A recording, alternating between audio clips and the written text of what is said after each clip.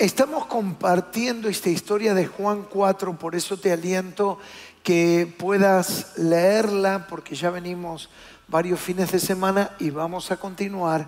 Es la historia de la samaritana, Jesús yendo hacia Galilea, pasa por Samaria y en el pozo de Jacob inicia un diálogo con esta mujer que la historia bíblica la recuerda como la mujer samaritana. Y en estos días estamos hablando sobre la adoración, cómo se inicia una charla.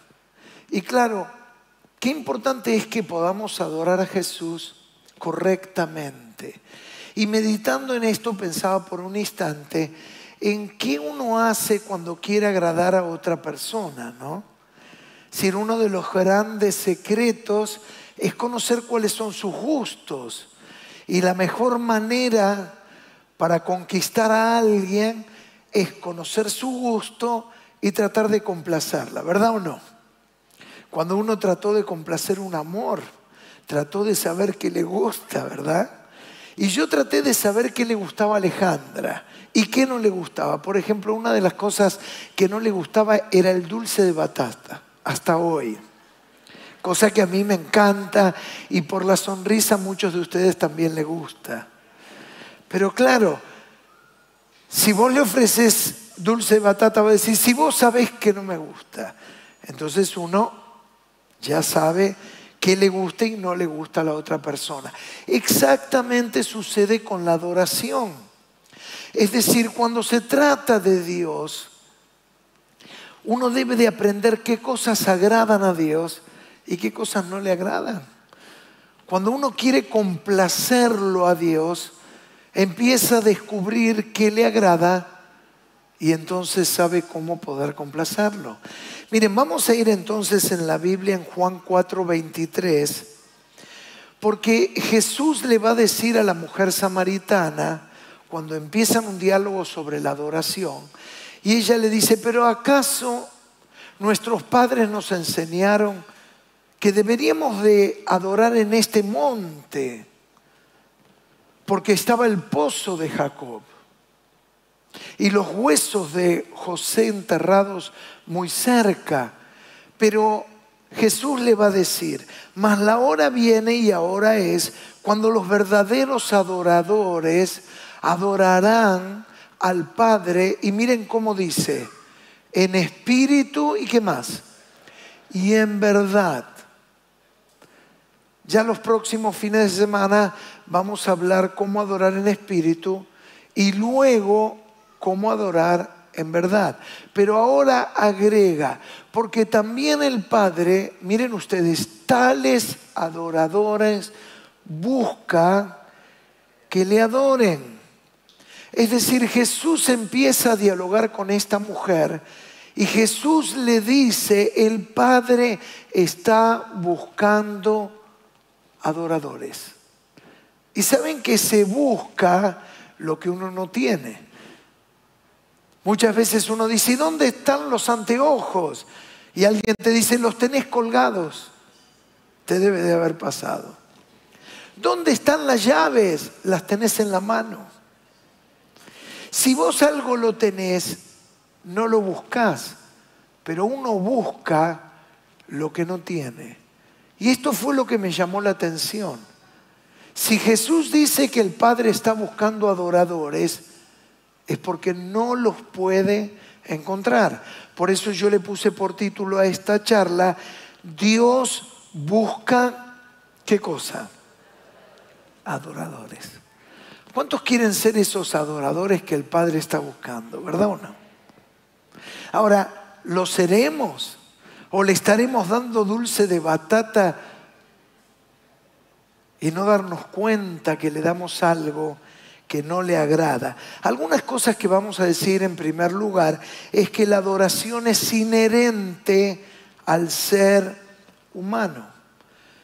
Los estudios de antropología y sociología descubrieron a lo largo de la historia de la humanidad que siempre que hubo un grupo humano, descubrieron conductas de adoración. Es decir, que la adoración es parte vital en la vida del ser humano, como lo es la necesidad de sociabilizarse, de alimentarse, de protegerse, de cuidarse. También es inherente al ser humano la necesidad imperiosa de adorar. Por eso en toda cultura hay muestras de adoración. Y en la parte más práctica lo observás, donde el ser humano ve algún acontecimiento que no entiende o evento, ya hace un altar, una gruta y se pone a adorar. Algunos de ustedes habrán visto, ahí en Rosario hay un grupo que adora a Maradona. Hicieron un altar y comenzaron a adorarle y detrás del altar tienen una camiseta número 10.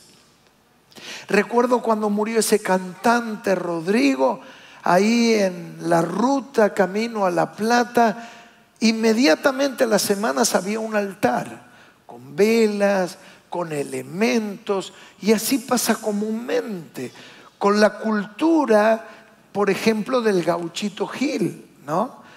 Que yo no sé si ustedes saben, pero el gauchito Gil era un adorador de San la Muerte. Es decir, es una práctica totalmente pagana y no solamente pagana, sino que invoca poderes diabólicos, ocultos. Y rápidamente el hombre hace, porque hay una inclinación a él, es una marca que Dios puso, es la búsqueda de lo trascendente. Es por eso que cuando uno viene al culto, yo me acuerdo una persona me dijo, mire pastor, empecé a venir, hace cuatro meses que vengo. Y cuando ustedes empiezan a cantar, que dicen, vamos a adorar a Dios, yo empiezo a llorar, a llorar, a llorar y me voy totalmente liviano. Le digo, ¿sabes qué pasa? Que cuando nosotros levantamos nuestras manos y cantamos y adoramos, nuestro espíritu se conecta con Dios y en ese momento Dios nos empieza a liberar y nuestra alma es libre y el Espíritu Santo empieza a llevarse las cargas y recibimos la paz que solamente Dios nos puede dar. Amén. Damos un fuerte aplauso a Jesús. Gloria a Dios.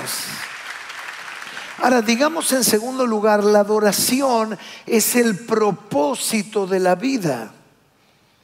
Por eso cuando uno se encuentra con Dios, y experimenta la adoración, dice, yo ya lo tengo todo, me siento lleno. Quizás no tengo un mango en el bolsillo, quizás estoy rodeado de problemas y de desafíos, pero ¿por qué me siento con tanta paz y me siento con tantas fuerzas y me siento tan pleno? Porque he descubierto el propósito de la vida.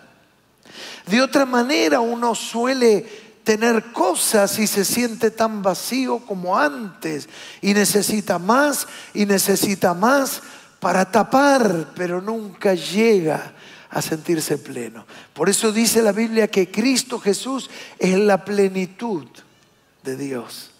Y cuando uno tiene a Cristo, está pleno. Y cuando uno busca a Jesús, el otro día alguien me decía, me dice, todo va a venir por añadidura. Le digo, ¿vos sabés que eso está en la Biblia? Y no sabía. Pero dice Mateo 6:33, buscad el reino de Dios y su justicia y todo lo demás va a venir añadido. Te va a venir como consecuencia. Entonces, cuando uno busca al Señor, después todo lo demás viene a completar. Pero yo ya estoy pleno porque Cristo está en mí. Amén. Y eso es maravilloso. Cuando uno se conecta, uno encuentra el propósito. Ahora yo me pregunté, si la adoración es el primer propósito en nuestra vida, cabe preguntarnos, ¿qué cosa? ¿Estoy adorando a Dios con la vida que llevo? Porque adoración no es lo que hago, sino lo que soy. Miren qué interesante esto. Adoración no es lo que hago, sino lo que yo soy. Si la adoración es el propósito de la vida, ¿estoy adorando a Dios como Él espera con mi vida? Es decir, adorarle a la mañana, a la tarde, a la noche, el día viernes cuando te dicen vení que te pago y vos vas y te dicen no, mira, vení la semana próxima y encima toca feriado largo. Y decís, este me embocó. ¿Seguís adorando o no? Cuando el último colectivo, dos de la mañana, no te para y se reinicia el servicio a las cinco y el colectivero pasó rápido, vaya a saber porque se quiere ir a la casa. ¿Y vos qué haces? Decís, pero gloria a Dios. Costó. ¿Verdad o no? Porque antes te hubieras acordado de la madre, de la tía, de la abuela y de todos los parientes. Pero a uno hoy en día empieza a adorar. Es decir, adoración no es lo que hago, sino lo que soy. 24 horas, cuando estoy solo, cuando nadie me ve, cuando estoy navegando en internet, cuando ingreso a las redes sociales. Porque ustedes vieron acá todos, ustedes no pueden tener la gran oportunidad que yo tengo de ver la cara de ustedes, se los ve como angelitos. Y acá adentro todos parecemos angelitos. Pero la verdadera adoración es allá afuera cuando están los problemas y las dificultades. Cuando uno entra a Instagram, a Facebook, veo gente que se transforma ahí. Y yo a veces digo, pero se lo veía tan tímido, tan introvertido, y mira acá en Facebook, contesta, dice, responde, insulta. ¿Ustedes vieron? Es tremendo. A mí me gusta ver a veces los comentarios y la gente no se mide, dice cualquier cosa.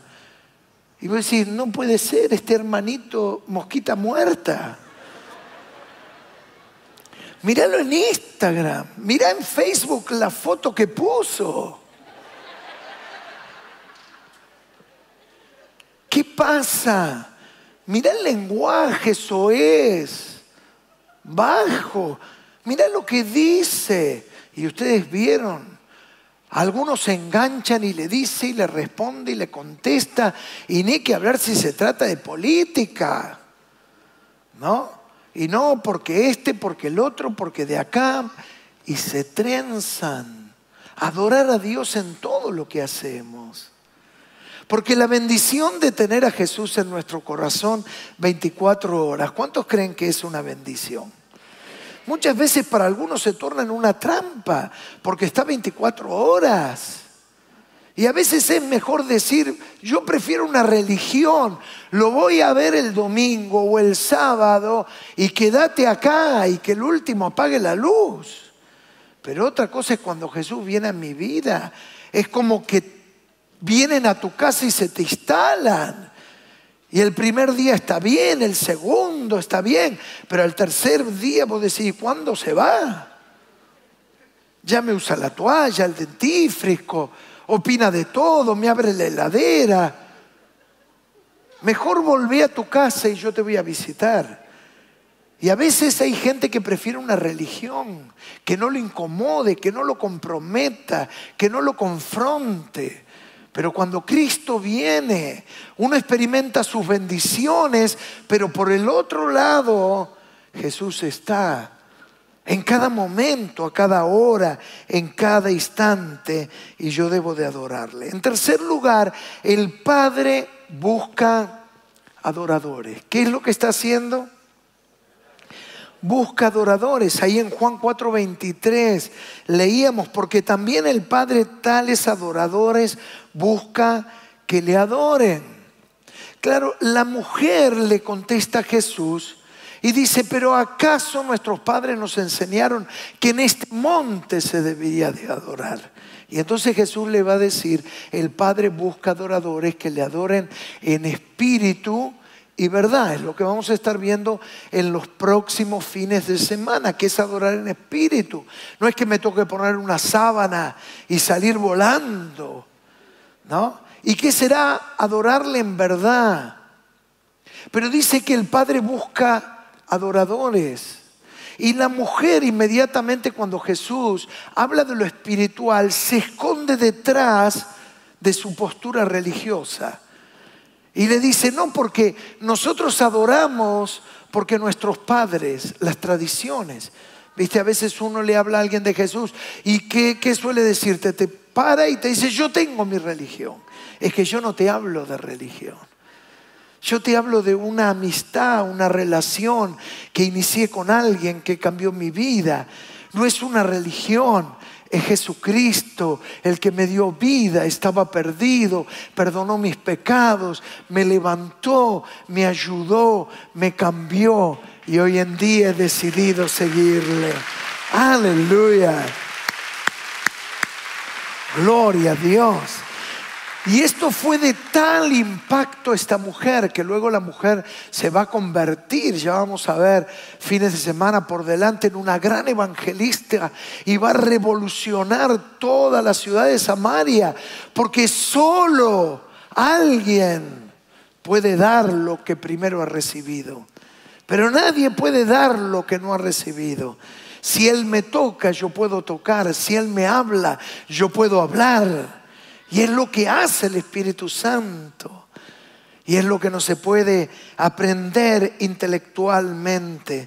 Yo me decía a mí mismo, yo quiero que Dios pueda cesar la búsqueda, porque ha podido encontrar en mí un verdadero adorador.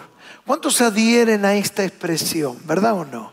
Que Dios pueda cesar esa búsqueda, porque haya encontrado en mí un verdadero adorador y que pueda decir Esteban, Marta, Joaquín, Nahuel, Sofía, es un verdadero, una verdadera adoradora, porque me adora con su manera de vivir 24 horas al día. Solemos relacionar, siempre relacionamos la adoración con la música. Y no necesariamente está vinculado, decíamos antes, ¿te acordás? Adorar no es lo que hago, sino lo que soy. ¿Será tu vida una adoración a Dios? ¿Será tu vida un canto de adoración? Eso es lo que el Padre está buscando. La Biblia habla que Abraham subió al monte Moriah y adoró a Dios. Es interesante la historia de Abraham, porque Abraham va a llegar a casi 100 años con la expectativa que Dios le dé un hijo. Y cuando él llega a los 100 años, Dios le da un hijo llamado Isaac. Su mujer era estéril y había cesado, dice la Biblia en ella, la costumbre de las mujeres. Es decir, que había dejado de ser fértil. Entonces, era estéril y encima ya había pasado el periodo de fertilidad. Pero Dios cumple la promesa y le da un hijo. ¿Y qué va a pasar entonces con este hijo? Abraham va a adorar a este hijo. Y saben que muchas veces nos suele acontecer que Dios nos bendice con algo y abrazamos la bendición y empieza a competir, con el que nos ha bendecido. Y amamos tanto la bendición que nos olvidamos del Dios que nos ha dado la bendición. ¿Cuántos entienden lo que estoy diciendo?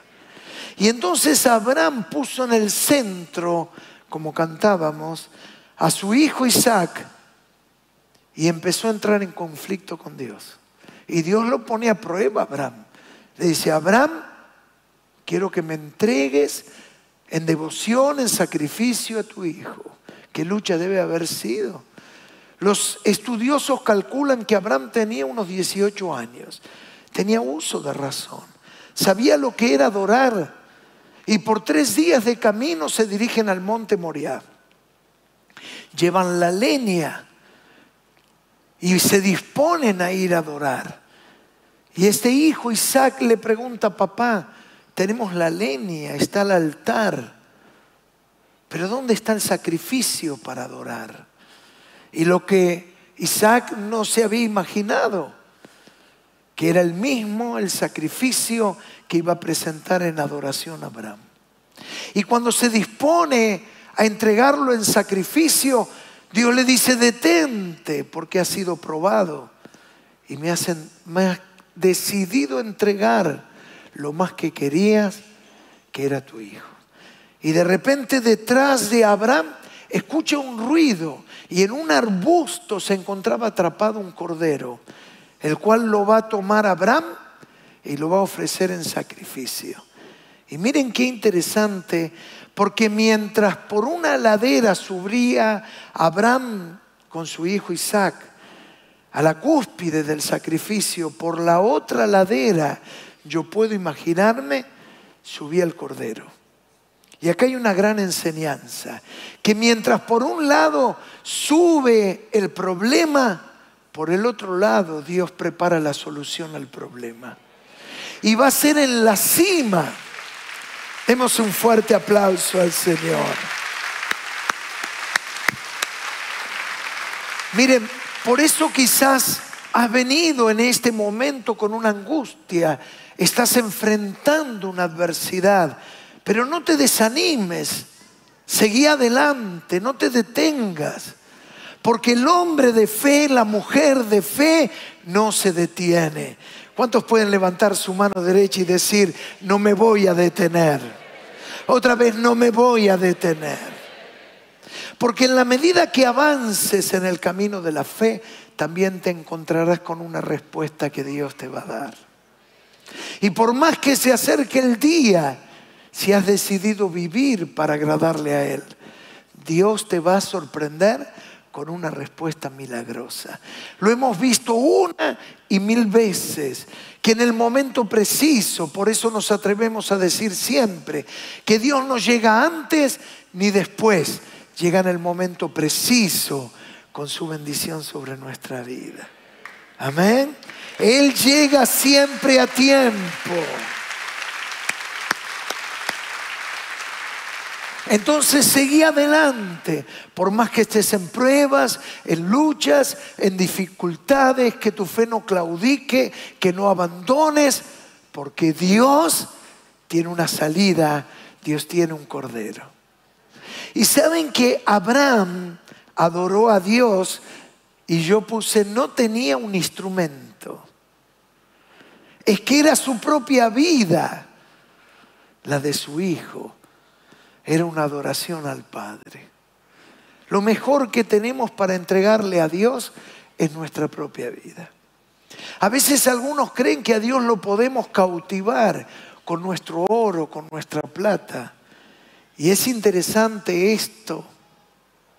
Cuando uno lee el libro de Apocalipsis, ¿sabe qué dice la Biblia? Juan tiene una visión y ve que las calles del cielo, ¿quién sabe? Son como de oro y el mar de cristal. Es decir, lo que para nosotros son materiales preciosos, para el mundo de Dios no es más que pavimento. ¿Se dan cuenta?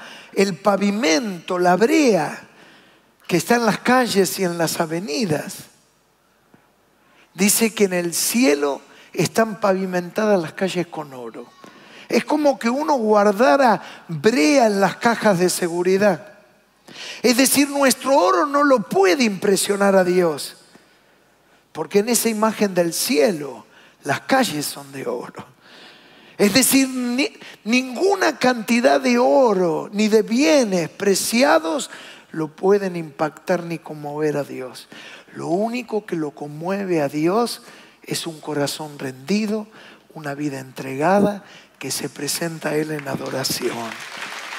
Bendito sea el Señor.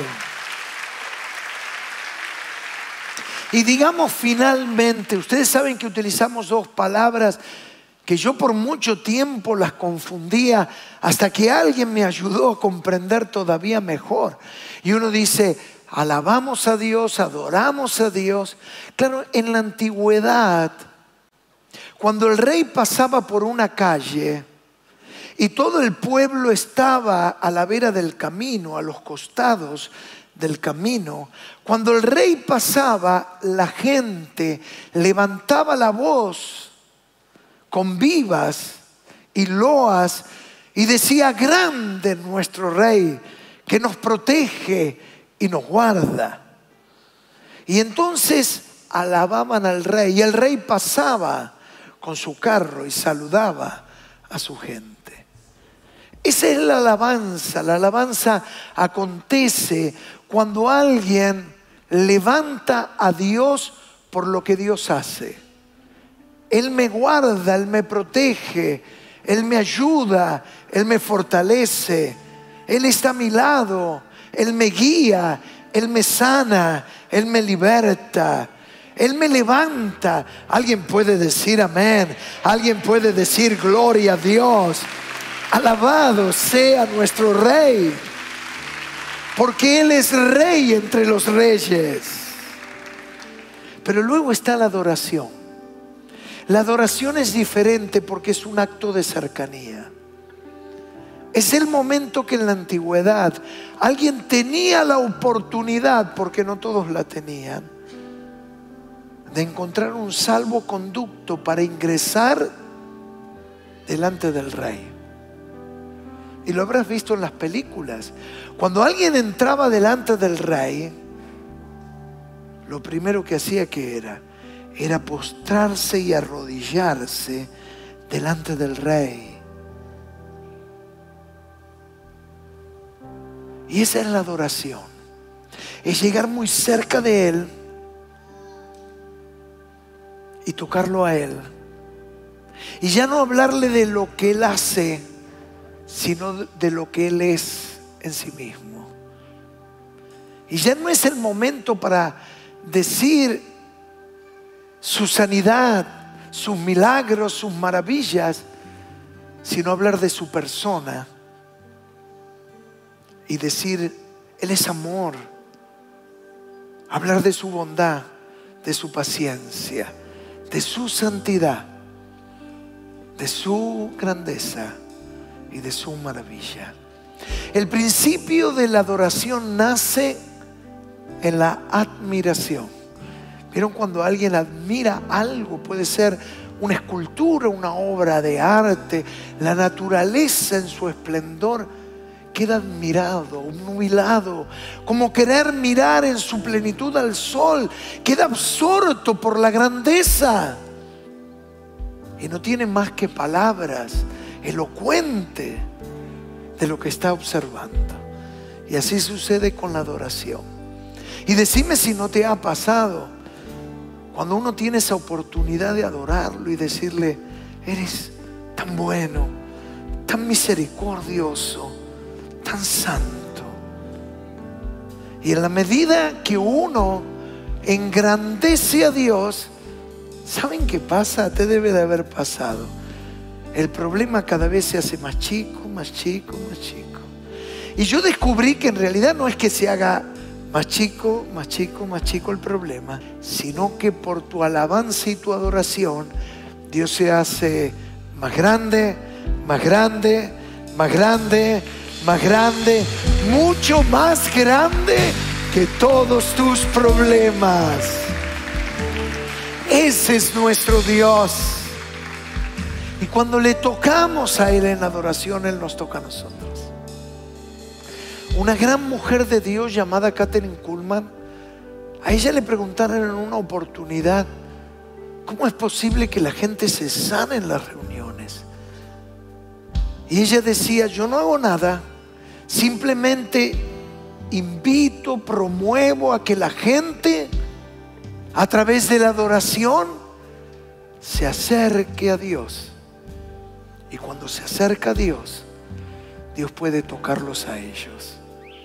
¿No es esto maravilloso? Yo lo he visto en tantas reuniones que hay personas que dicen, pastor, cuando estábamos adorando a Dios. Vino como una electricidad sobre mi columna y esa escoriosis que yo tenía en mi columna se sanó por completo. Recuerdo una chica sentada por ahí en el balcón en un momento de adoración.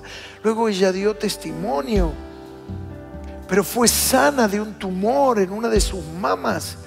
Y vino con esa petición diciendo, Señor, ¿será que, que puedas tocarme en esta reunión?